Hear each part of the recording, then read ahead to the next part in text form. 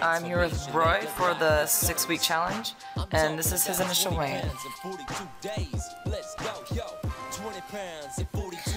I'm here with Roy. He just completed the six week challenge. He initially weighed in at 341.6 and he needs to be at 321.6. And you are at 311.2. Congratulations, Roy. Good job. Nice.